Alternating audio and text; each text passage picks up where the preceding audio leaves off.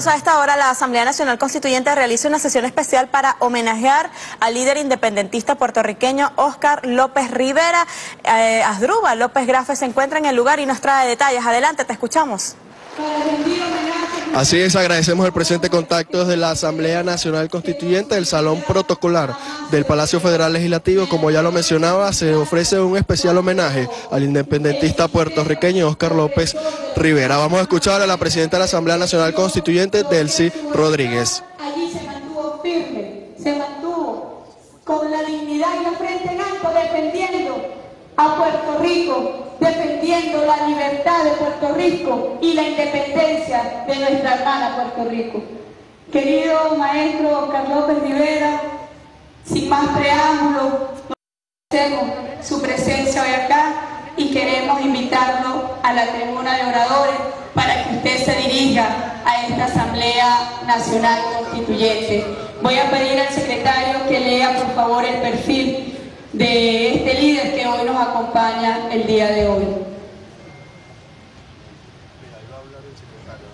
El líder independentista puertorriqueño Carlos López Rivera nació en San Sebastián, Puerto Rico, el 6 de enero de 1943. Se incorpora a la lucha de la justicia social y por la independencia de su amado Puerto Rico, participando en diversos actos de protesta pacífica y desobediencia civil y ayudando a formar la escuela secundaria puertorriqueña Dr. Pedro Albizu Campos. En el 76 se incorpora a la lucha clandestina por la independencia de su patria aborígena como miembro de la Fuerza Armada de Liberación Nacional. Es detenido por el FBI en 1981 acusado de conspiración.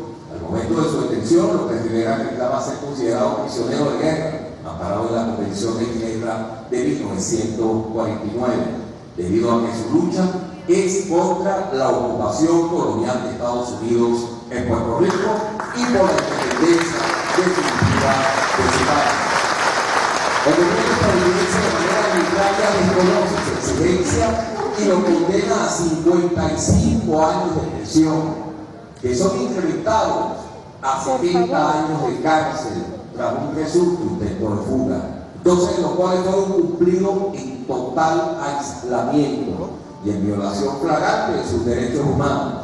De manera soberbia, el gobierno de Washington desoye los reclamos de más de 100.000 ciudadanos que han suscrito una solicitud en el 2016 para dar plena libertad a este líder de la independencia de Puerto Rico, tras cumplir una de las condenas más largas impuestas a un preso político en el mundo Oscar López Rivera sale de la cárcel después de 36 años de prisión el 17 de mayo del 2017. La patria de Simón Bolívar y de Hugo Chávez con su ideario imperialista y socialista en lo más alto del firmamento latinoamericano y esta Asamblea Nacional Constituyente da la bienvenida a este patriota por la independencia de Puerto Rico.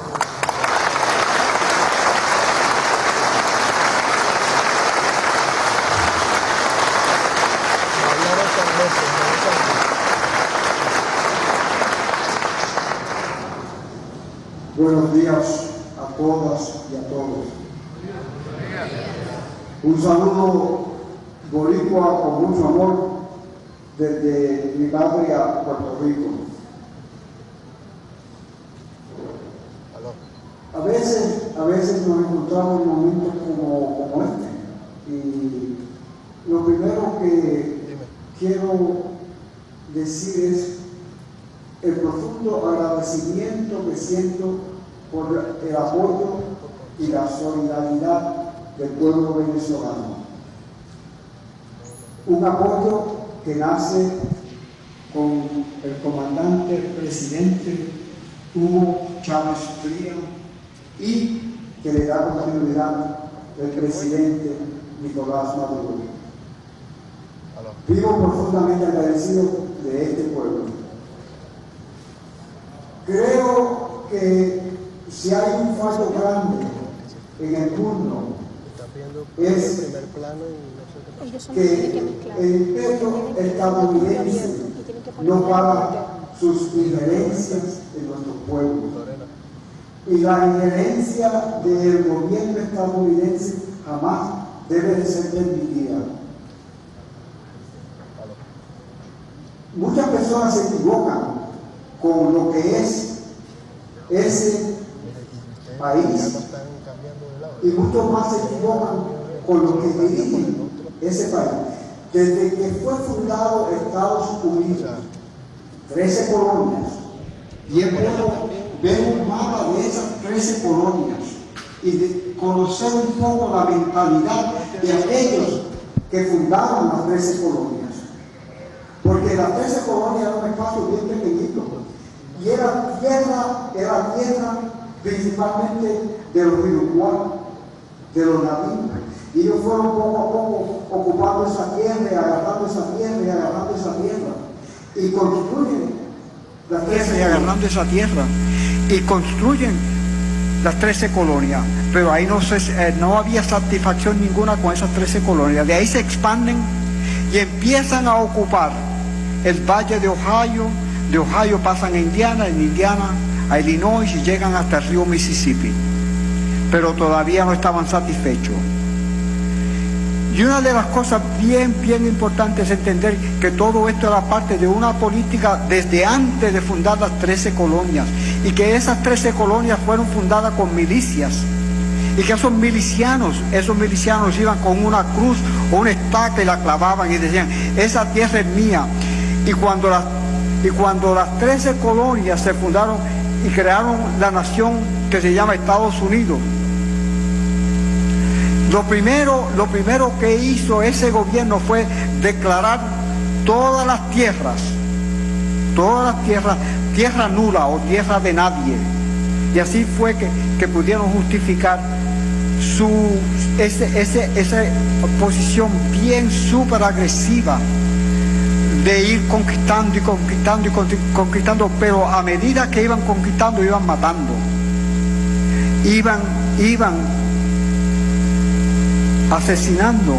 Una misión que fue creada e impulsada por el supremo Hugo Rafael Chávez Fría. Hugo Rafael Chávez Fría para cambiar. Continúa hasta el 1896, cuando asesinan prácticamente espiritualmente a Jerónimo, porque Jerónimo negoció y aceptó la oferta del gobierno estadounidense un gobierno que le dijo, ahora tienes tierras y ahí puedes vivir tranquilo y nosotros queremos compartir contigo el sueño americano, la, la vida estilo americana de democracia y libertad. Y inmediatamente después de esas palabras vemos a Jerónimo dentro de un tren camino hacia una prisión. Ese general se llamaba Nelson Miles Dos años, dos años después, 1898, Nelson Miles llega con sus fuerzas militares a Puerto Rico. Y adivinen lo que le dijo a los puertorriqueños. Bueno, le dijo lo mismo que le dijo, que le había dicho a Jerónimo. Venimos a Puerto Rico a traerle libertad y justicia y, y ese estilo de vida americano.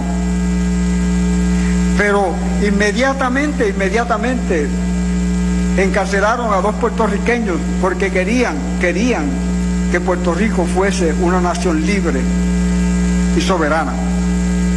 Y desde ese momento hasta el día de hoy, hasta el día de hoy, el gobierno estadounidense no permitirá jamás que los puertorriqueños, que los puertorriqueños tengamos, tengamos una nación independiente y soberana no lo permitirá, tenemos que lucharla. Si, si queremos que Puerto Rico sea libre, que sea una nación soberana, entonces tenemos que lucharla. Pero jamás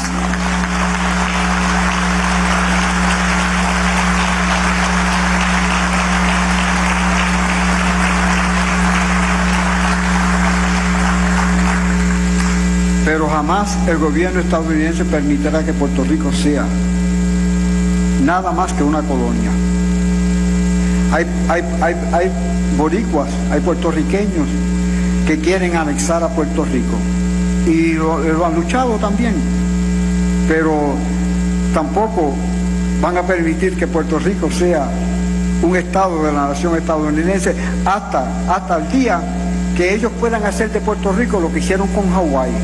Estados Unidos ocupó Hawái en 1893 y poco a poco, poco a poco fueron ocupando espacio estadounidense de los 48 estados. Poco a poco, poco a poco, hasta que se llega el punto que son una mayoría. Y cuando son una mayoría, ya para el 1958, Hawái era casi, casi, casi un estado y lo convirtieron en estado. Así que Hawái y Alaska se convierten en los dos últimos estados, el número 49 y el número 50. Pero ambos... Si hoy, si hoy vamos a las prisiones en ambos estados, tanto en Hawái como en Alaska, vamos a ver que la mayoría de los presos son los nativos. No la mayoría de la población, sino la mayoría de aquellos que están encarcelados son los nativos. Y esa es una realidad que debemos todos, los países donde hay injerencia de Estados Unidos, tener mucho cuidado con lo que hace Estados Unidos, con lo que hace el gobierno, ¿no? Voy a hablar de esto, con lo que hace el gobierno de Estados Unidos. Porque esa mentalidad que comenzó con los milicias, de crear ejércitos y ejércitos y ejércitos y guerra y guerra y guerra, todavía continúa. Hoy día más peligrosa que aquella milicia del siglo XVII, XVIII. Así que tenemos que tener mucho, mucho cuidado con, lo que, con las intenciones del gobierno estadounidense de lo que es capaz hacer ese gobierno.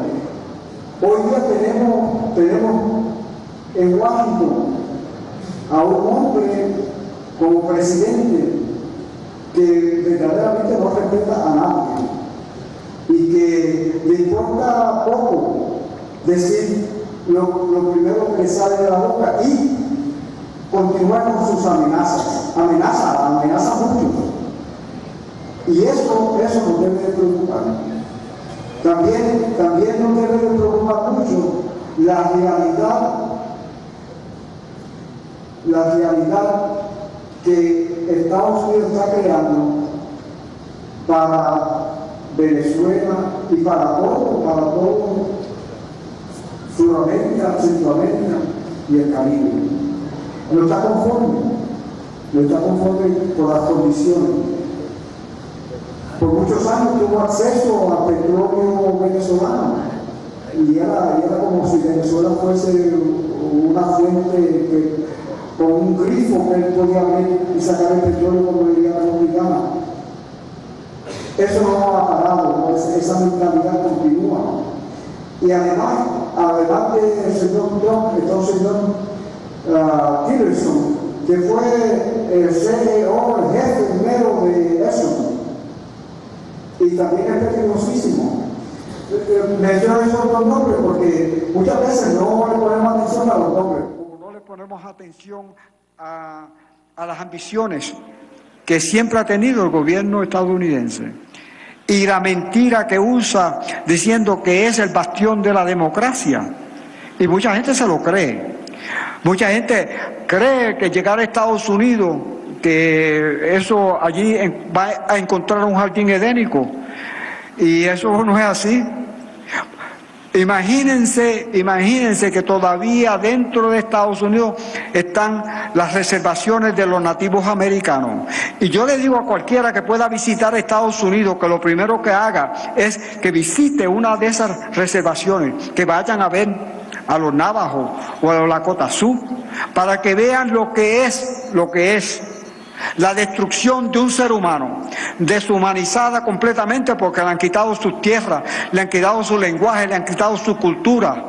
¿Y qué le queda al ser humano que le, han, desnudado de todas las cosas que son más principales en su vida? Si le quitan sus tierras, si le quitan sus lenguajes, si le quitan su cultura, ¿qué le queda? Porque ya dejamos de ser lo que éramos. Entonces, por eso me gustaría, siempre invito a personas que puedan ir dentro de Estados Unidos para que vean eso. Pero también los invito que vayan a ver las comunidades africanas americanas, porque allí van a ver también que Estados Unidos, Estados Unidos, en Estados Unidos el racismo todavía existe y que el racismo es como una cuestión genética que se pasa de una generación a la otra y a la otra y a la otra. Y eso, eso es el peligro. Donald Trump ganó, ganó las elecciones en Estados Unidos. Mucha de la gente que votó por, eh, por Donald Trump son seres racistas. Y podemos, podemos, podemos ver todos los estados, todos los estados, quiénes fueron los que votaron por Donald Trump. Y eso, eso, eso es importantísimo de saberlo. Por ejemplo, yo de mis 75 años que tengo, he vivido 70 de ellos, 60 de ellos dentro de Estados Unidos. Más de 60, casi 61 años dentro de Estados Unidos. Conozco bien, porque en carne y hueso yo he experimentado el racismo, la discriminación, la brutalidad policíaca, una clase de discriminación que es bien, bien triste, porque a los puertorriqueños cuando llegamos a, Estados Unidos se nos trataba pero súper, súper mal. experimentar racismo, el hostigamiento, constantemente, no solamente por la policía, sino por aquellos que verdaderamente son, racistas, que no quieren que una persona de piel oscura esté allí. Y la política de Estados, de, Estados Unidos, de Estados Unidos, la política del gobierno de Estados Unidos es bien clara. Esa construcción de ese muro que divide a México de Estados Unidos, es, es un muro de racismo. Y ese muro no se construyó para, para parar nada, sino para que no hubiese una, un flujo de personas a través, a través de la frontera. Se condena y se criminaliza al inmigrante nosotros los seres humanos hemos, hemos evolucionado migrando, migrando. Nunca, nunca el ser humano ha parado de migrar. ¿Por qué entonces se convierte y se transforma la migración en un crimen? Tenemos que pensarlo, porque tenemos hermanos dentro de Estados Unidos que muchas veces llegaron allí sin documentos.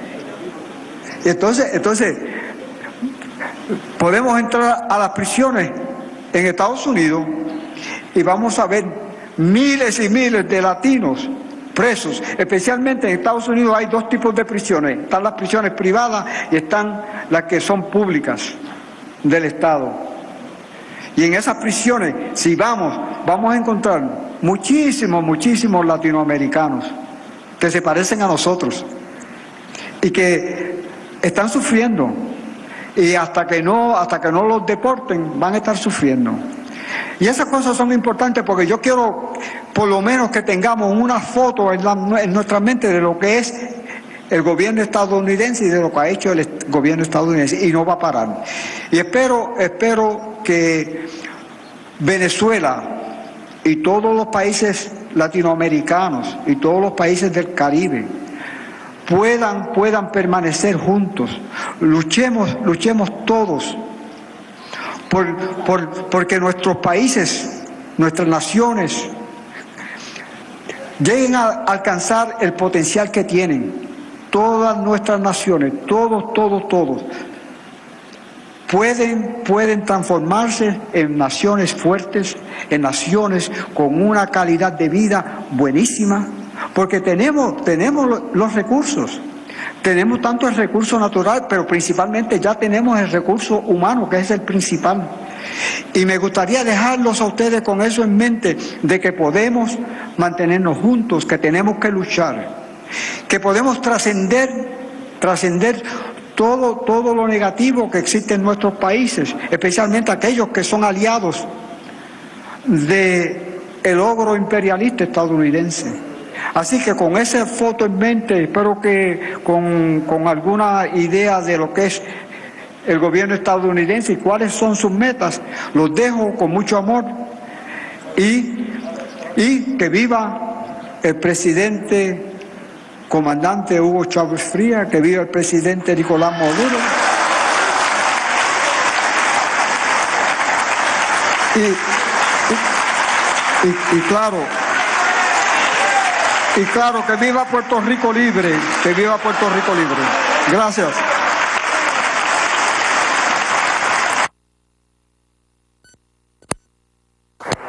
Bueno, veíamos parte de las palabras. Como Abogaba la unión de los países latinoamericanos y caribeños para que puedan permanecer juntos y juntos luchar por, la, por el desarrollo de los países en crecimiento. Es el homenaje que se le rinde el día de hoy ante la Asamblea Nacional Constituyente al patriota independentista puertorriqueño Oscar López Rivera, quien estuvo en prisión estadounidense por 36 años. Esto por procurar la independencia de su nación, Puerto Rico. López Rivera llegó este sábado a nuestro país donde ha sostenido diferentes encuentros con autoridades nacionales respaldando además el apoyo al presidente Nicolás Maduro Moros.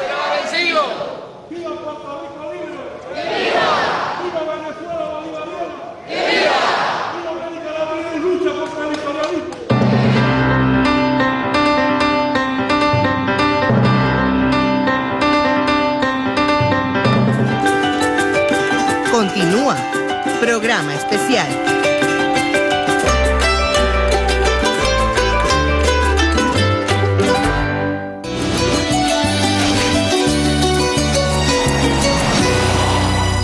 Me llamo Gerd Purta, yo vivo acá en Rostock y sigo con mucho interés y simpatía la lucha de ustedes en Venezuela para un- una sociedad mejor y más democrática. Les puedo asegurar que mucha gente acá tiene mucha simpatía para esta lucha y están dispuestos a mostrar solidaridad.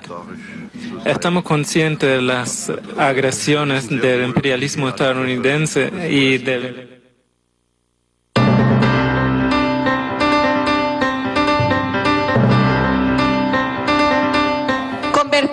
colonia y nosotros seguiremos siendo patria libre, independiente, soberana. Ahí está la espada de nuestro libertador, Simón Bolívar. La tiene el pueblo de Venezuela, maestro, la tiene en alza, defendiendo a este pueblo, defendiendo su libertad, defendiendo su historia también antiimperialista. Jamás volveremos a ese pasado, jamás seremos colonia. Así que el señor Julio Borges puede quedarse con las ganas, porque Venezuela seguirá siendo libre, independiente y soberana. Nada nos llevará a ese oscuro pasado y acompañamos a los pueblos que dan la batalla por su independencia, por su autodeterminación. Es lo que corresponde a la luz del derecho internacional también. Y por eso la batalla de Venezuela, queridos compañeros de la patria grande que hoy nos acompañan, la batalla por Venezuela es la batalla por los pueblos libres del mundo. No es solamente por Venezuela. Aquí se está librando la batalla por la independencia de muchos países. Y Venezuela se ha convertido en la joya de la corona para los Estados Unidos y sus aliados imperiales. Hoy cuando factores de la derecha extremista venezolana procuran la intervención de nuestra patria a través de una coalición internacional, aquí hay un frente amplio, maestro, de la patria al frente el presidente Nicolás Maduro, defendiendo la soberanía de Venezuela, defendiendo su integridad territorial, defendiendo el derecho que tiene este pueblo a ser feliz, como nos legó en su pensamiento y en su doctrina nuestro libertador Simón Bolívar. Nosotros no somos un pueblo pequeño, somos un pueblo grande en fortaleza y en lucha, en el desarrollo de su historia, de su historia el pueblo venezolano jamás se rindió, ni siquiera frente a las brutales dictaduras ni siquiera frente a la farsa que representó la democracia representativa punto fijista. Y con el comandante Hugo Chávez llegó la luz para este pueblo, llegó la inclusión, llegó la igualdad, llegó la equidad. ¿Y cómo pretenden ahora que el pueblo diga, queremos volver a la indignidad? Eso no es posible, eso es un imposible lo que la derecha extremista quiere para Venezuela. O que nos digan, volvamos a ser colonia, como dice por el mundo Julio Borges, que él quiere que Venezuela sea colonia de los Estados Unidos. ¿Cómo serlo? Seguiremos teniendo patria, como nos dijo nuestro comandante Hugo Chávez. Seguiremos teniendo patria libre. Y nosotros, los venezolanos y las venezolanas, cuando hoy estamos librando una feroz batalla contra poderosos enemigos geopolíticos, son modelos históricos confrontados. La batalla que nosotros estamos dando, lo estamos dando, maestro, con felicidad, con alegría y con convicción profunda, porque lo estamos haciendo con patriotismo puro y por amor a nuestra patria, por amor a Venezuela, pero también por amor a la patria grande. Cuando nuestro libertador sacó la espada, y esa espada que hoy recorre América Latina lo hizo también para liberar a seis naciones, para liberar a la patria grande. Y esa es la espada que tiene hoy el pueblo de Venezuela y que acompaña a Puerto Rico. Y por eso cuando lo decimos, y yo cuando hablaba ayer con el maestro López Rivera, le decía en la batalla cuerpo a cuerpo que usted tuvo en prisión durante más de 35 años, libró una batalla victoriosa. Usted salió de allí victorioso, con la frente en alto. No pudieron chantajearlo, no pudieron extorsionarlo, no pudieron someterlo y salió de allí caminando como un ser digno latinoamericano y caribeño de esta patria grande. Así que, maestro, para nosotros es un verdadero honor haber contado con usted acá el día de hoy. Sé que está apretado de agenda, pero le agradecemos nuevamente. Aquí está un luchador antiimperialista victorioso y digno que ha acompañado esta Asamblea Nacional Constituyente. Llévese nuestro mensaje constituyente. Cuando decimos que la espada de Bolívar está por América Latina, decimos también que hay aires constituyentes por nuestro continente, por la libertad de los pueblos. Gracias, gracias, maestro.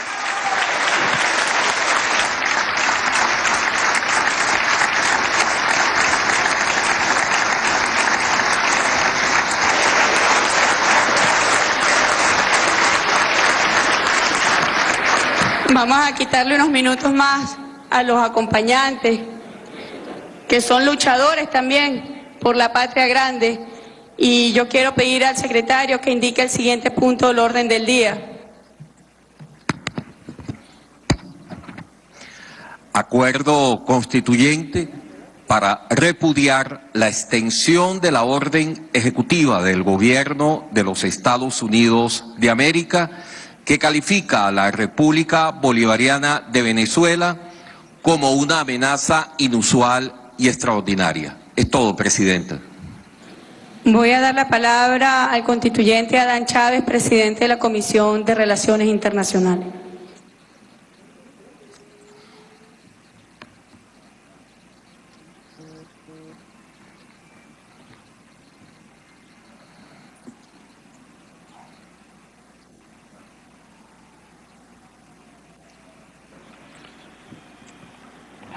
Bien, buenos días a todos y a todas. Camarada presidenta de la Asamblea Nacional Constituyente, demás miembros de la directiva, secretario, subsecretaria, querido camarada Oscar López Rivera, bienvenido. Un gran aplauso nuevamente para este ejemplo de lucha para todos nosotros, compañeros y compañeras. De verdad que es un gran honor tener aquí entre nosotros, oír las palabras, las experiencias de este gran luchador por la libertad y la soberanía, no solo de Puerto Rico, sino de todos nuestros pueblos. Yo tuve el privilegio de acompañarlo hace dos días cuando llegó a nuestra nación, al Panteón Nacional, a rendir honores al Padre Libertador. Gracias, Oscar. Gracias, compañero. Y a todos y a todas, compañeros representantes de los demás movimientos, movimientos sociales, partidos políticos, luchadores y luchadoras de toda nuestra América y de otras partes del mundo. En, en el marco de esta conmemoración, todos sabemos, ayer cumplimos o se cumplió un año más de la partida física de nuestro comandante eterno Hugo Rafael Chávez Frías. Varias actividades en el cuartel de la montaña, una muy importante en esta coyuntura precisamente relacionada con todo lo que nos acaba de explicar, de exponer Oscar López Rivera. La decimaquinta cumbre de la Alianza Bolivariana para nuestra América, el Tratado de Comercio de nuestros pueblos.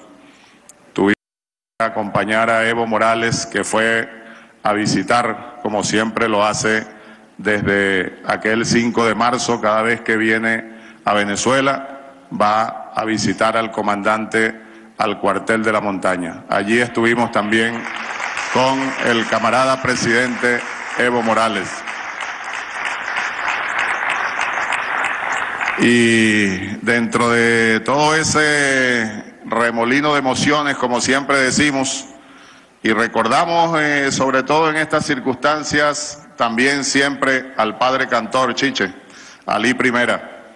Ali Primera en lo que fue su último concierto en vivo, unas semanas antes del lamentable accidente en Barquisimeto, dijo y quedó grabado para la historia, acababa de morir la mamá Pancha, su abuela querida, así como para Chávez y para este humilde servidor, esa era siempre la mamá Rosa. Y acababa de nacerle su último hijo, que todos los conocemos aquí, siempre anda por estos pasillos, Juan Simón. Y Simón y Ali dijo en aquel concierto, como él acostumbraba, que entre canción y canción hacía remembranzas, daba discursos políticos, etcétera. Dijo tristeza a veces, alegría a veces, equilibrio, hermanos, equilibrio.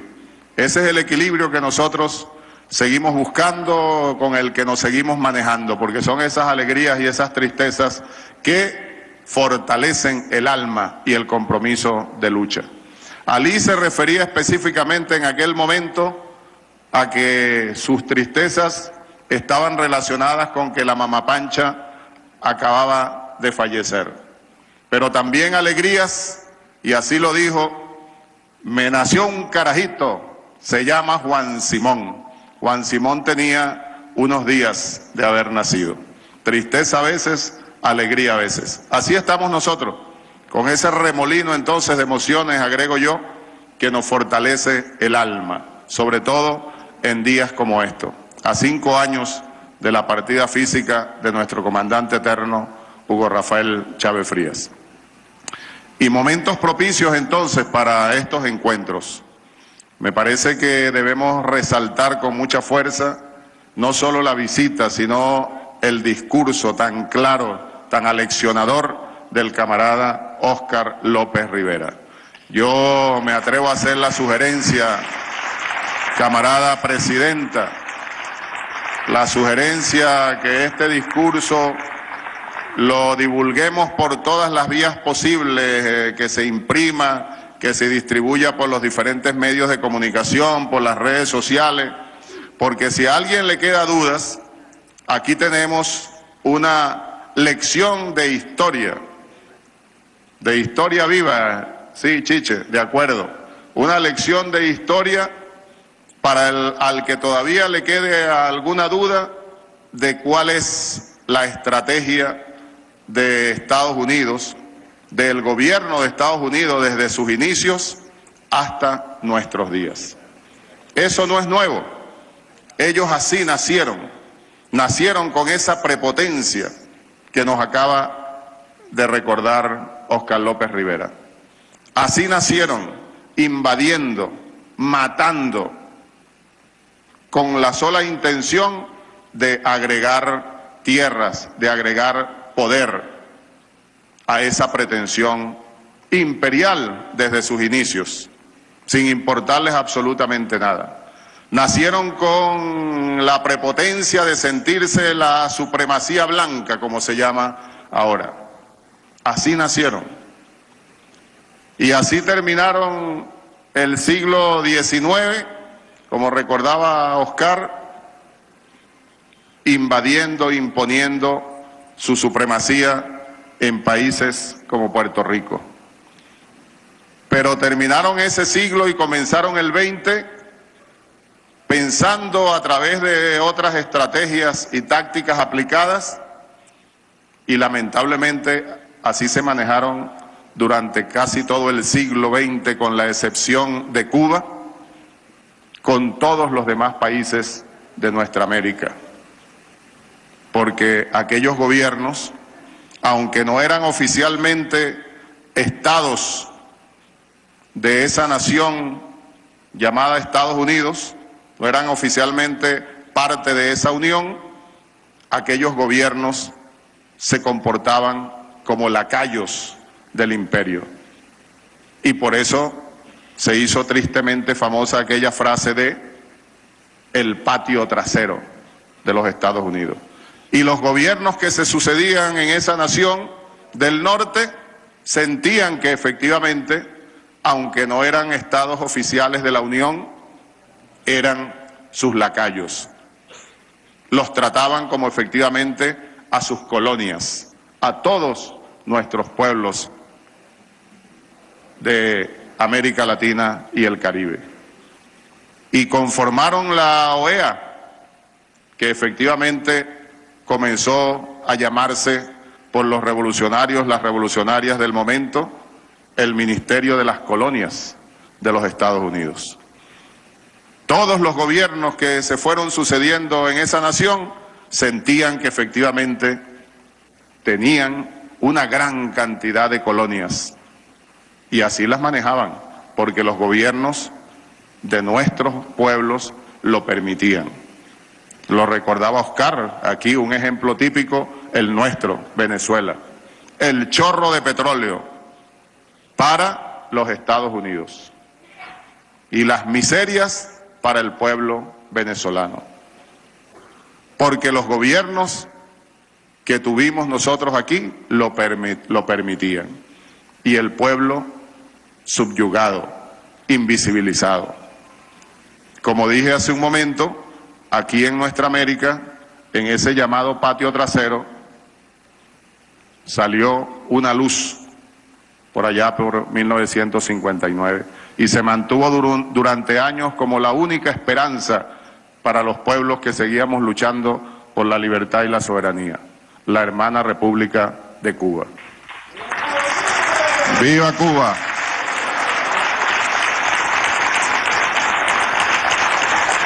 Por cierto que ayer en la cumbre del ALBA dio un discurso memorable también el querido compañero, camarada, presidente Raúl Castro Ruz.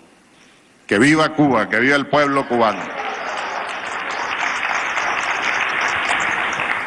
Pero entonces nosotros, Oscar, y todos y todas, gracias a que surgió el comandante Chávez aquí en Venezuela y sobre todo después de varios años de trabajo clandestino, a partir del 4 de febrero del 92, el pueblo venezolano revivió en la esperanza que había quedado dormida desde el fallecimiento del padre libertador, el asesinato de Antonio José de Sucre en 1830. El pueblo venezolano renació en la esperanza y comenzó nuevamente un proceso, o se rescató, deberíamos decir, el proceso libertario e integracionista de Simón Bolívar y los que lo acompañaron, las que lo acompañaron en aquellos años. Y, lo demás, historia más conocida, ¿verdad? Para nosotros, lo que es y seguirá siendo la revolución bolivariana. Pero bien importante tener en cuenta entonces la clase de historia que nos dio Oscar López Rivera en esos minutos, una excelente síntesis, además, felicitaciones, de cómo nació la nación del norte, cuál ha sido su estrategia siempre y cómo seguirá intentando esclavizarnos. Aplicando la estrategia que ellos consideren necesaria, con esa prepotencia de siempre, con esa supremacía que ellos piensan que tienen, con esa prepotencia que los caracteriza.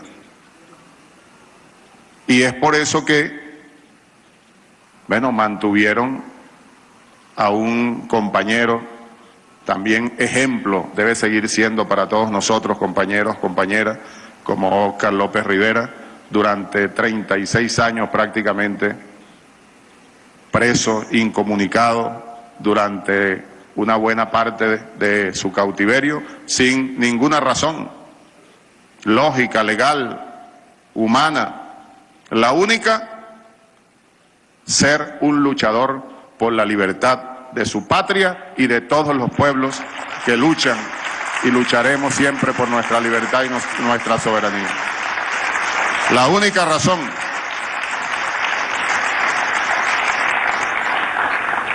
Un ejemplo, Oscar López Rivera, de resistencia, de convicción, de lucha, que debemos todos seguir y creo que cuadra completamente con esa consigna que es viva en nuestro pueblo. Aquí nadie se rinde, así como nunca se rindió ni se rendirá Oscar López Rivera y que cuenta y contará siempre también con todo nuestro apoyo, con todo nuestro reconocimiento.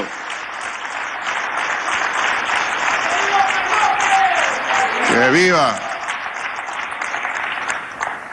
Y entonces el imperio norteamericano ha seguido con esa táctica, con sus estrategias, hasta nuestros días.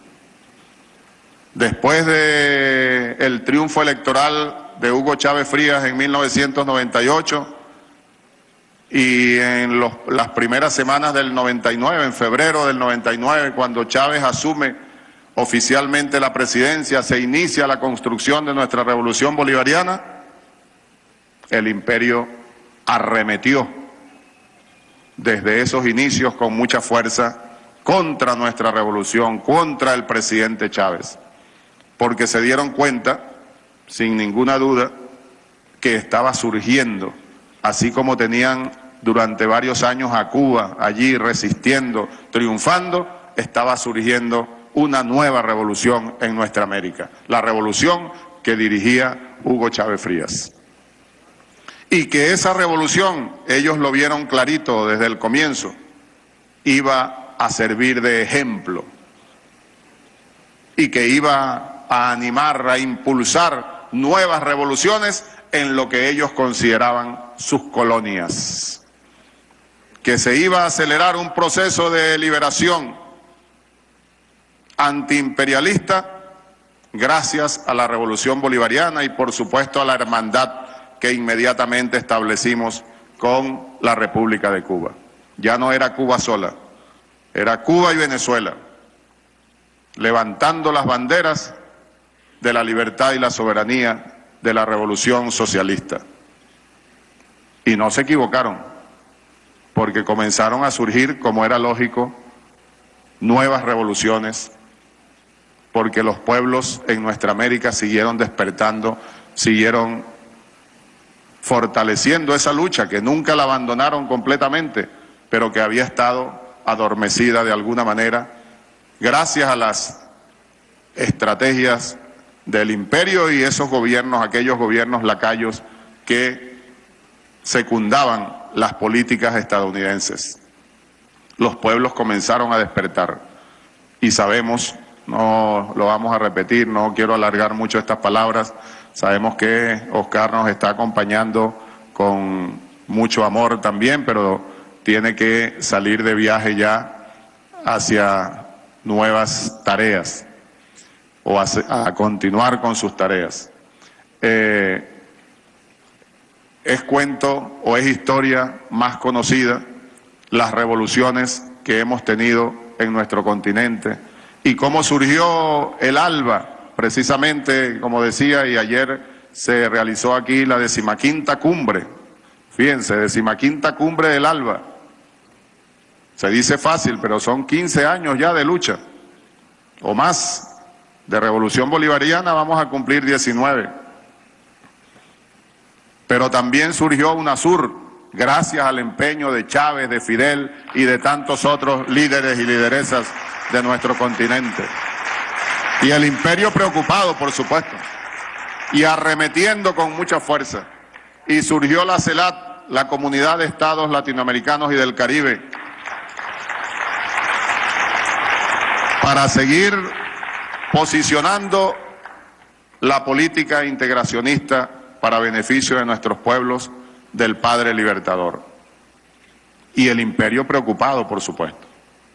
Y es allí donde, entre otras cosas, tampoco vamos a relatar todo el guion que nos han aplicado, así como a otros países de nuestra América, cómo han impuesto sus políticas, sus gobiernos lacayos a través de invasiones, de asesinatos, etcétera, etcétera.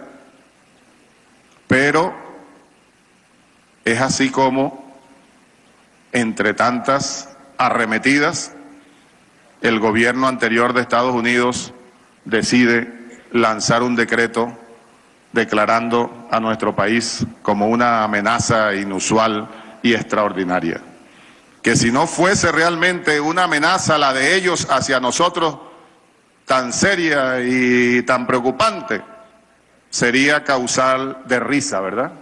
Venezuela, una amenaza inusual y extraordinaria para la nación más potente del mundo en lo que a armamento se refiere, por lo menos. ¿Cuándo Venezuela ha invadido países?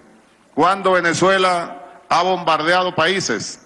Venezuela no tiene material armamento nuclear. ¿Cuándo hemos lanzado tropas al exterior para asesinar individualidades o colectivos, pueblos enteros? Nunca. ¿Quién lo ha hecho? Los Estados Unidos de Norteamérica. El doble rasero. El intento de seguir imponiendo esa supremacía. También lo recordaba Oscar de alguna manera, hablando en nombre de la libertad. Invadiendo, asesinando, imponiendo dictaduras a nombre de la libertad. Nosotros entonces desde aquí proponemos y aprovechando esta sesión especial para homenajear a este líder, luchador, Óscar López Rivera, luchador, ya decía, no solo por la libertad de Puerto Rico, sino de toda nuestra América, el Caribe y otros pueblos del mundo, que se apruebe aquí entonces el decreto que anunciaba el secretario de la Asamblea Nacional Constituyente. Un decreto para rechazar con toda la fuerza que nos caracteriza, con todo el sentimiento bolivariano, chavista, antiimperialista que nos caracteriza, las intenciones del imperio a través, en este caso concreto, de la prórroga que el ahora presidente Trump le ha dado al decreto del anterior presidente Obama. Ellos quieren seguir manteniendo ese decreto, sabemos por qué. Es el intento de tener una justificación más a nivel internacional, justificación a la que hay que ponerle comillas, para intentar invasiones, golpes de Estado, ataques directos contra nuestro pueblo venezolano libre y soberano. No han podido ni podrán. Pero entonces proponemos, camarada presidenta y todos y todos, que se apruebe este decreto donde rechazamos contundentemente, con toda la fuerza que nos caracteriza, repito, con toda nuestra fuerza y convicción bolivariana, chavista, antiimperialista, la prórroga de este decreto declarando a Venezuela una amenaza inusual y extraordinaria para los Estados Unidos. Eso, ese rechazo significa que nosotros, y estamos seguros que muchos pueblos del mundo nos acompañan en ello, más allá de nuestra América, estamos conscientes que no somos una amenaza para nadie. Más allá de la amenaza que sí somos para el imperialismo y sus lacayos, la amenaza por la que tuvieron 36 años presos a Oscar López Rivera.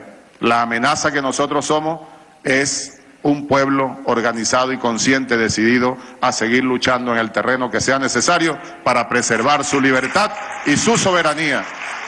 Y nunca más seremos colonia de nadie, ni patio trasero de nadie. Somos patria libre y soberana y así seguiremos. Patria libre y soberana. Y permítanme cerrar estas palabras, Presidenta Oscar López Rivera y todos y todas, parafraseando al Padre Libertador, para decírselo desde aquí a los gringos, al gobierno norteamericano. Lo que le dijo Bolívar al señor Irving, el representante del gobierno de los Estados Unidos en aquella época. Precisamente dentro de pocos meses se van a cumplir 200 años exactos de la respuesta que le dio Bolívar a ese representante del gobierno norteamericano de la época, en 1818. Si mal no recuerdo, septiembre de 1818. Se van a cumplir 200 años exactos. Ante una disputa que tenían porque el Libertador y las fuerzas patriotas habían capturado unos barcos que había mandado el gobierno norteamericano de la época con armas para apoyar a lo que quedaba de imperio español en nuestras tierras. Aunque por otro lado, el doble rasero de siempre, habían propuesto o habían, eh, le, le habían dicho a las fuerzas patriotas a través de otros emisarios que podían apoyar quizás la lucha del libertador Simón Bolívar. El doble rasero, por un lado, simulaban que podían apoyar la lucha por la libertad, pero lo que realmente estaban haciendo era enviándole armas al imperio español, a las fuerzas españolas que estaban todavía en nuestro territorio. El Libertador capturó los, barcos con las armas y el gobierno norteamericano quería que se las regresaran. Y el Libertador le decía, no señor, eso es material de guerra, capturados en guerra revolucionaria, en la guerra que estamos librando. Eso ahora es propiedad del ejército libertador. Y en esa disputa, una de las últimas comunicaciones que tuvieron, el libertador le dijo, palabras más, palabras menos. No permitiremos que el gobierno norteamericano ultraje el suelo venezolano. Buena parte de nuestra población ha regado su sangre en la lucha contra el imperio español. Los que quedamos estamos ansiosos de correr la misma suerte. Lo mismo es para Venezuela, luchar contra España que contra todo el mundo, si ese mundo también la ofende. Así decimos desde aquí, señor Trump, imperio norteamericano, no les tenemos miedo y estamos dispuestos a regar nuestra sangre si hiciese falta por defender nuestra libertad y nuestra soberanía. Yankee, go home. Gracias.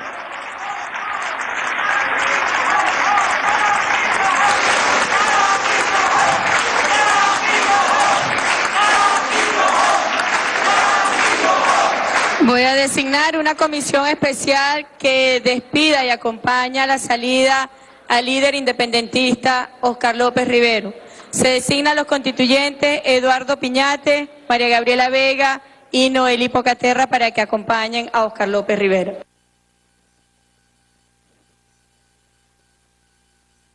Claramente hasta el momento dos puntos de la orden del día totalmente debatidos. Sin embargo, el último está a punto por aprobarse. En su primera instancia fue sobre todo el debate sobre la extensión del decreto de los Estados Unidos por considerar a Venezuela una amenaza inusual para su nación. Y en segundo punto, también por supuesto el acuerdo en repudio a la decisión de los Estados Unidos por considerar a Venezuela una amenaza inusual. Decreto que fue pedido por el presidente de la Comisión de Asuntos Internacionales de la Asamblea Nacional Constitucional constituyente Adán Chávez, quien pedía al cuerpo también...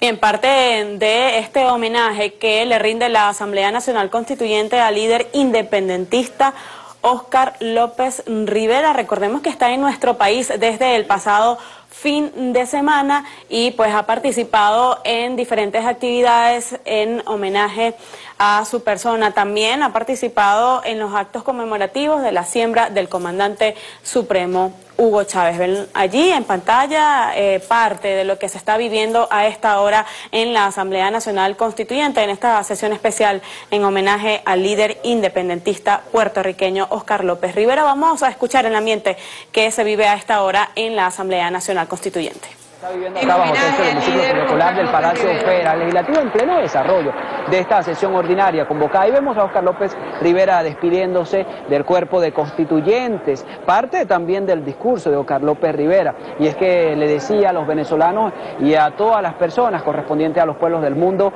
en no creer en ese sueño americano. Decía que los Estados Unidos tiene como su única intención desechar, discriminar, también, por supuesto, eliminar a todos los pueblos, a todas las naciones que tienen ese sueño de la soberanía, de independencia, de la autodeterminación. Rechazaba en ese mismo sentido también la postura injerencista de Tom Riedetson, representante de negocios de los Estados Unidos contra Venezuela. Él decía claramente, textualmente, bajo su vivencia, su misma experiencia, es que tenía 70 años mientras... Bien, parte entonces de esta sesión especial, una comisión especial despide a este líder independentista puertorriqueño, Oscar López Rivera, desde el Palacio Federal Legislativo, específicamente desde la Asamblea Nacional Constituyente. Él eh, decía en sus palabras durante eh, esta sesión especial, pues que rechazaba la injerencia de Estados Unidos sobre Venezuela y también sobre otros países del mundo.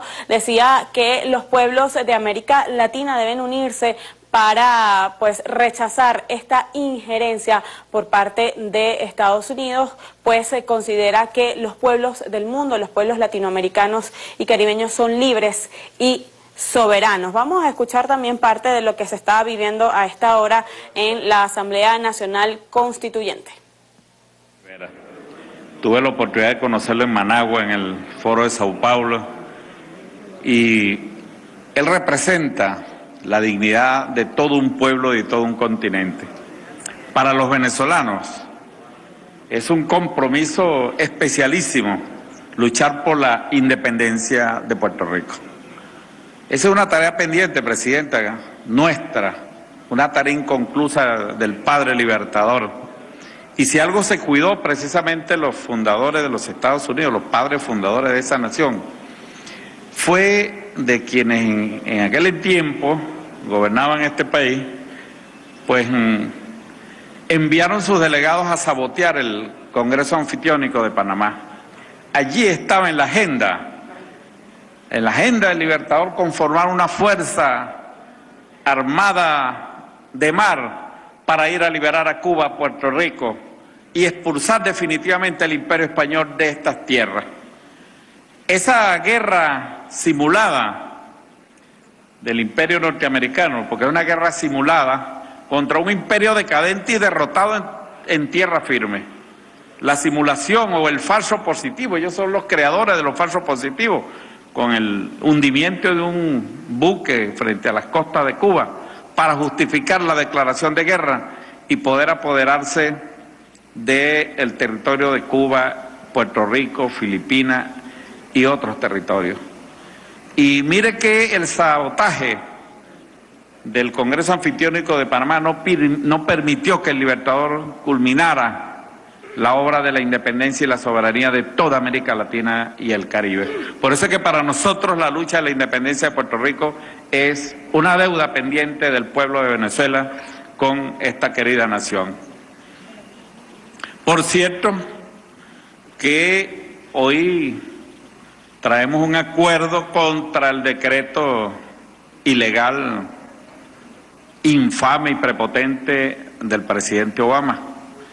Y ese decreto, Presidenta, es un decreto que lo que expresa es la desesperación, la irracionalidad de cómo se conducen quienes dirigen el pueblo de los Estados Unidos.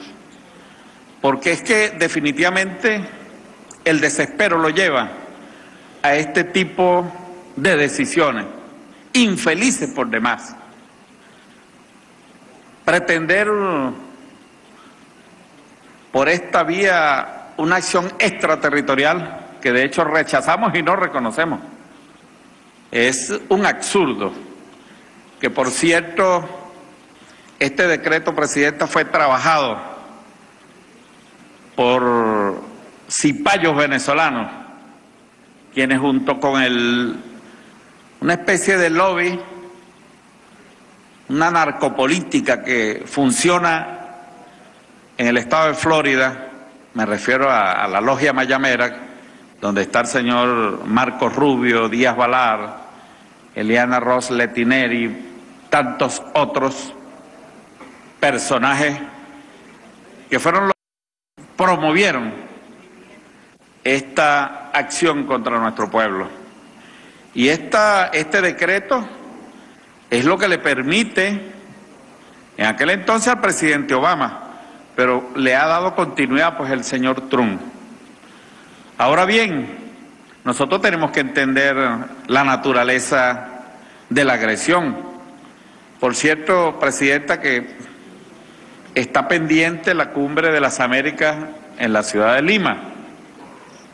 Y mire que las acciones que han tomado para que la voz de Venezuela no esté presente allí y que el presidente Maduro no diga las verdades al mundo, forma parte de la naturaleza de este decreto y por qué lo extiende. Yo recuerdo que la cumbre de Kibe en Canadá en el año 2000, por cierto, el vocero de esa cumbre fue el presidente Bush. Y el presidente Bush habló a nombre de todos los gobiernos de la cumbre. Y él hablaba de un consenso. El consenso allí no era otro que el ALCA. Se le olvidaba al señor Bush, presidente de los Estados Unidos en aquel momento, de que no hubo tal consenso.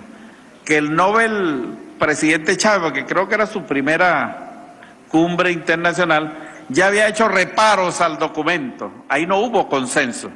El presidente hizo reparos profundos en la estructura de lo que allí se estaba planteando, por su carácter neocolonial. Y mire lo que es la vida, ¿no? Y lo que nos ha tocado a nosotros. Y hay que ver cuántos presidentes le tocó al gigante Fidel Castro enfrentar. Bueno, el nuevo presidente Chávez se enfrenta a Bush en la cumbre de Kibe.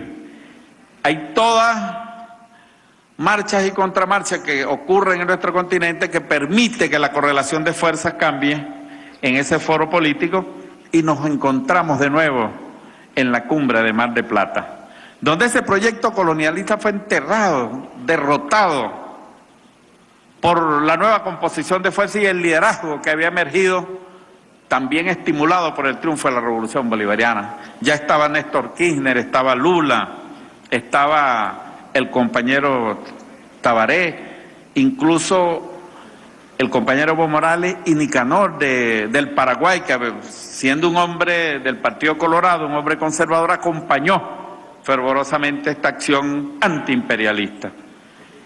Y cito esto porque, bueno, en esa cumbre del 2005 estuvo el señor Bush y no quiso ser el vocero en esta oportunidad de la derrota política de esa cumbre. Y mire que no habían pasado sino cinco años, cómo, la, cómo cambia ¿no? el escenario político en esta batalla donde hay marchas y contramarchas, porque a veces nosotros nos afligimos por algunas derrotas, pero es que así como han ocurrido derrotas, también hemos tenido victorias y en estas marchas pues los pueblos han continuado la lucha por la soberanía, por la independencia y por su integridad territorial. Y lo digo porque eso fue en el 2005, pero ya en el 2015 en Panamá, presidente, usted debe recordarse, de nuevo el imperialismo impulsa ese foro político contra Venezuela y nos encontramos que en esta oportunidad es el presidente Obama. Y bueno, el presidente Obama se llevó una derrota contundente en Panamá. Yo tuve la oportunidad de, de, hacerle un seguimiento y hay que ver el coraje y la dignidad de las voces de hombres, de presidentes, de jefes de Estado y de gobierno, defendiendo a Venezuela allí y precisamente señalando las pretensiones imperialistas del presidente Obama. Esa derrota de Panamá nos trae a nosotros este decreto, porque este decreto es como el reconcomio del presidente Obama en no haber podido implementar un aislamiento una derrota política a una causa que no solamente es de Venezuela, es la causa de todos los pueblos de este continente. Bueno, vamos ahorita al 2018, la cumbre va a ser en Lima. Allí nos vamos a ver las caras de nuevo. Y ellos hacen todo lo posible porque la voz de Venezuela no esté. Y mire qué cosa, ¿no? En el 2005, con la derrota del ALCA, nace el, la Alianza para el Pacífico con cuatro países. Recuerdo que estaba Chile, Colombia, Perú y México. Y que son los que en la OEA llevan la voz cantante junto a los Estados Unidos en todas las iniciativas que tomaron contra nuestro país y contra nuestro pueblo. Allí fueron derrotados en todas las oportunidades. Y por eso es que el cartel de Lima no es sino una derivación de ese de esa famosa Alianza del Pacífico que se constituye como una junta protectora de los derechos de los norteamericanos. Y eso es lo que vamos a ver nosotros ahora en este momento. En Lima tengan la seguridad que el presidente Trump tiene la derrota cantada o la tiene marcada en la frente.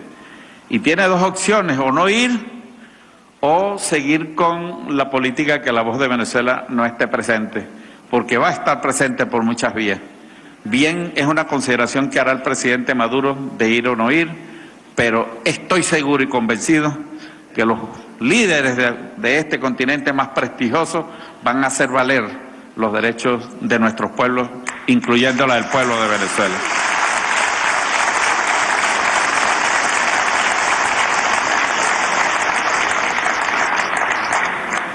Es más, yo creo que el presidente Trump no va a ir allá, porque es que su agenda para esta cumbre, para poder restituir el ALCA, eh, bueno, la agenda es muy clara y lo ha dicho.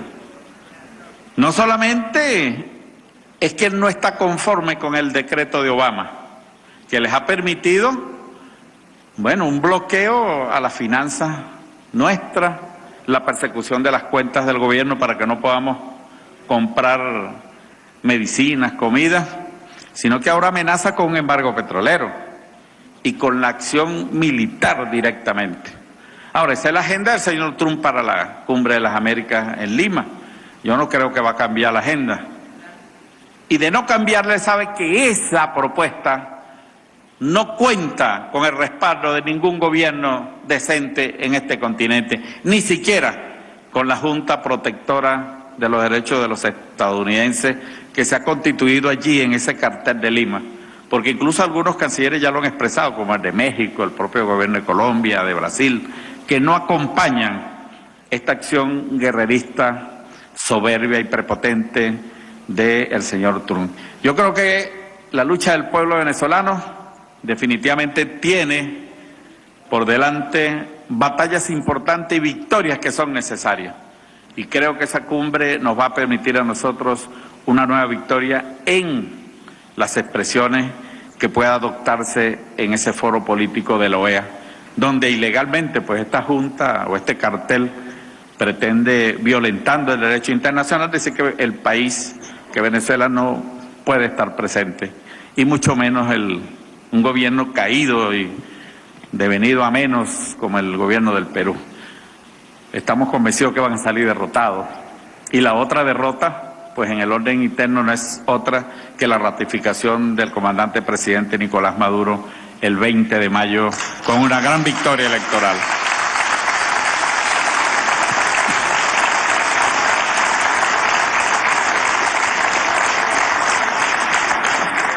Quería citar aquí, porque en estos días tuve la oportunidad de estar conversando con nuestro gran amigo Roy Daza, y él está escribiendo un libro sobre ese comportamiento cipayo, ¿no? Y él hacía una referencia, porque en el derecho comparado uno busca tener algún referente y no lo conseguía. Y él me dice que en una oportunidad los conservadores mexicanos fueron a buscar al emperador Maximiliano pues para entregarle México.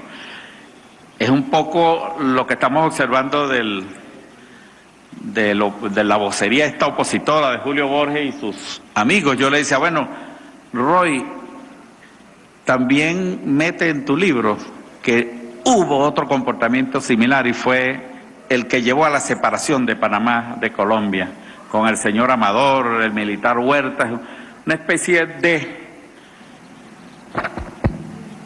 que se constituyó allí, un cipallaje que permitió este doloroso desmembramiento de Colombia con el caso de Panamá. Y precisamente eran los intereses de la empresa que estaba construyendo el canal.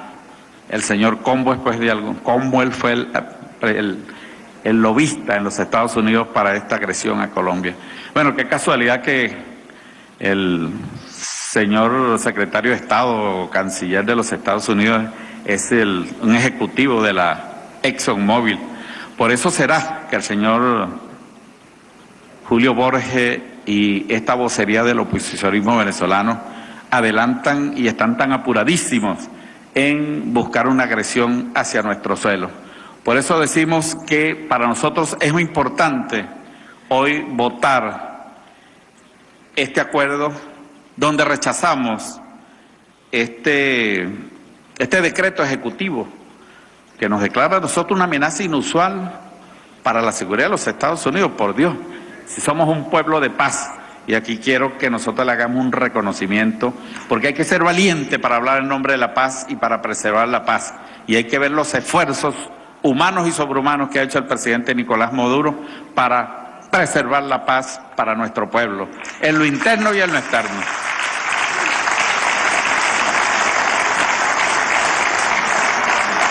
Así que, colegas constituyentes, pueblo de Venezuela, invitamos pues a que con dos manos nosotros aprobemos, no sé si le doy lectura o el secretario, ciudadana presidenta.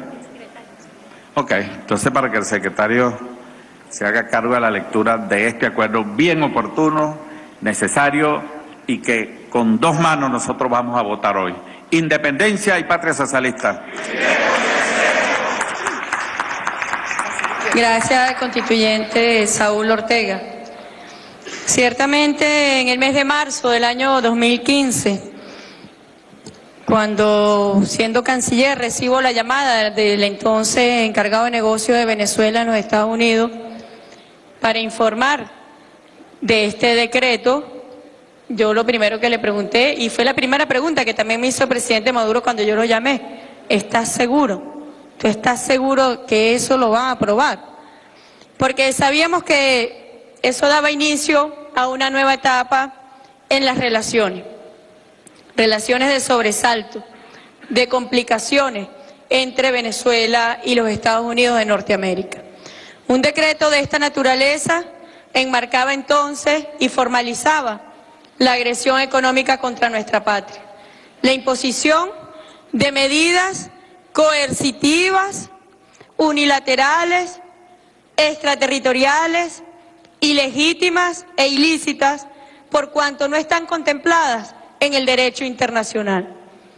Forma parte de la imposición de expresiones imperiales, de pretender imponer sanciones fuera del territorio de un país a otro país, en este caso los Estados Unidos de Norteamérica contra Venezuela medidas violatorias del derecho internacional, coercitivas, arbitrarias, porque no están contempladas en el derecho internacional, pero que dan marco a lo que posteriormente ha venido ocurriendo, que es las llamadas ilícitas sanciones contra autoridades del Estado venezolano, contra presidentes de los poderes públicos en Venezuela, ha dado origen a ilícitas sanciones económicas y financieras contra Venezuela, en un plan que pretende configurar la intervención de Venezuela.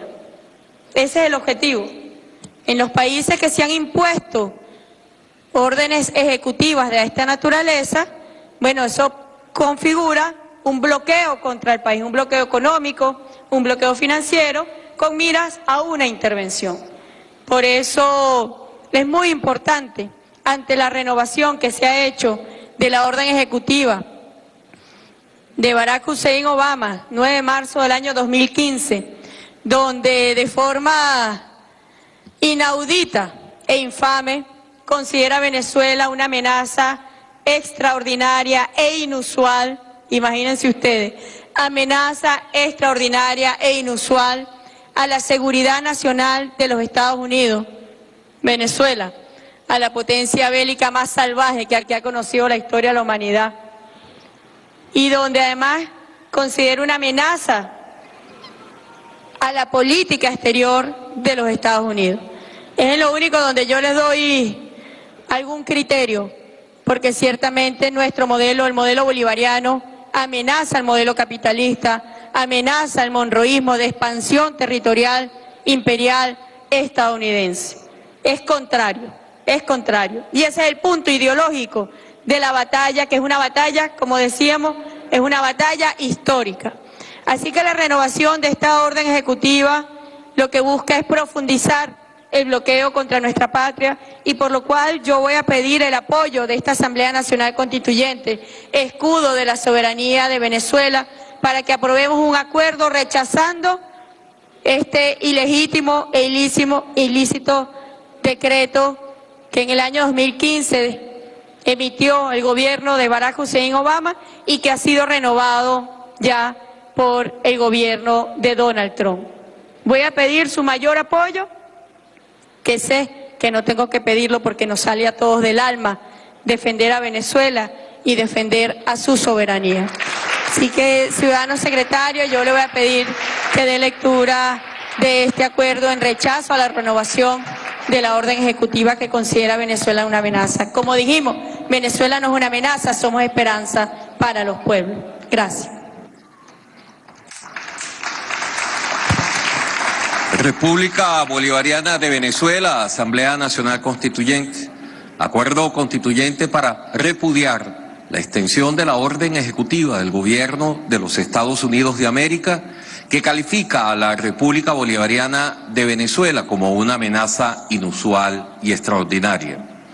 La Asamblea Nacional Constituyente, en ejercicio de su poder originario, emanado del mandato conferido por el pueblo de Venezuela el 30 de julio del 2017, en elecciones democráticas, libres, universales, directas y secretas, de conformidad con lo previsto en los artículos 347, 348 y 349 de la Constitución de la República Bolivariana de Venezuela y las normas para garantizar el pleno funcionamiento institucional de la Asamblea Nacional Constituyente en armonía con los poderes públicos constituidos, dictada por este órgano soberano y publicada en la Gaceta Oficial de la República Bolivariana de Venezuela 6323, extraordinario de fecha 8 de agosto de 2017.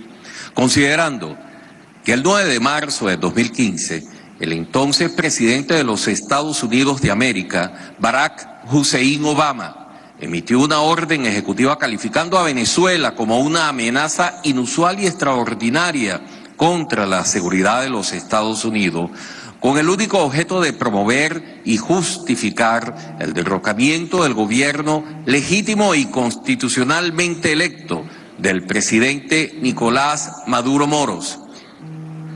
Considerando que en el marco de esta orden ejecutiva ha impuesto ilegítimas e ilícitas medidas coercitivas unilaterales y arbitrarias, violatorias del derecho internacional contra la República Bolivariana de Venezuela y sus altas autoridades para procurar un cambio de gobierno y modelo de desarrollo en Venezuela considerando que la extensión de la orden ejecutiva del régimen de los Estados Unidos constituye una nueva agresión contra el pueblo venezolano y es un ejemplo del desprecio por parte del gobierno de Donald Trump contra los más elementales principios y obligaciones del derecho internacional público. Considerando que Venezuela es un territorio de paz que promueve relaciones de solidaridad entre los pueblos, que en toda su historia nunca ha invadido ni bombardeado otros pueblos, no posee armas de destrucción masiva, no posee territorios bajo régimen colonial, no tiene bases militares distribuidas alrededor del mundo, ni posee el mayor presupuesto militar en la historia de la humanidad, por lo que jamás podría considerarse una amenaza contra cualquier Estado. Acuerda, primero, rechazar y repudiar enérgicamente las nuevas sanciones adoptadas por los Estados Unidos de América, la extensión de la orden ejecutiva que califica a Venezuela como una amenaza inusual y extraordinaria contra la seguridad de los Estados Unidos, en abierta contravención a los valores y principios fundamentales del derecho internacional, entre ellos la igualdad soberana de los Estados. Segundo, exigir a los Estados Unidos de América el respeto al derecho internacional y abstenerse de realizar actos unilaterales coercitivos que contribuyen a vulnerar la soberanía nacional con la declarada intención de atentar contra los principios y valores democráticos de nuestra nación. Tercero, publíquese el presente acuerdo constituyente en la Gaceta Oficial de la República Bolivariana de Venezuela, dado y firmado en el hemiciclo de sesiones de la Asamblea Nacional Constituyente del Palacio Federal Legislativo en Caracas los 6 días de marzo de 2018, año 207 de la Independencia, 159 de la Federación y 19 de la Revolución Bolivariana. Cúmplase. Del Cieloína Rodríguez Gómez, presidenta de la Asamblea Nacional Constituyente. Tania Díaz, primera vicepresidenta, Elvis Amoroso, segundo vicepresidente, Fiel Ernesto Vázquez, secretario, Carolis Pérez, subsecretario. Es todo, ciudadana presidenta. En consideración, acuerdo en rechazo a la renovación de la orden ejecutiva. Aprobado. A dos manos.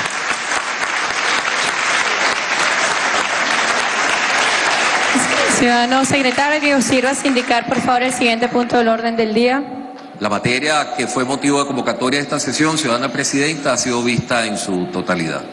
Habiendo sido agotada la materia, se declara culminada esta sesión y se convoca para el próximo martes a las 3 de la tarde. Gracias.